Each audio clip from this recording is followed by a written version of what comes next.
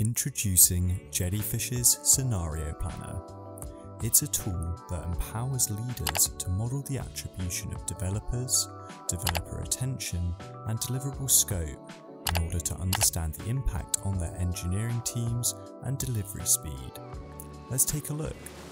We can see a summary of the activity associated with this deliverable. At a glance, engineering effort attributed towards this deliverable has been inconsistent but it's trending upwards. Let's use the scenario planner to see what levers we can pull to ensure this deliverable hits its target date. This is the scenario planner.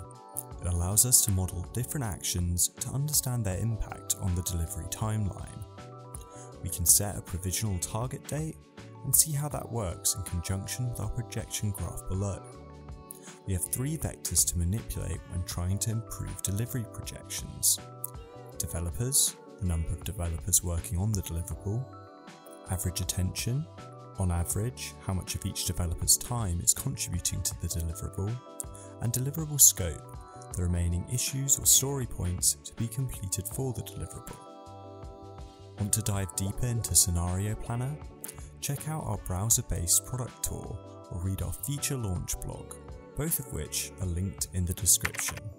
And for everything else, visit jellyfish.co.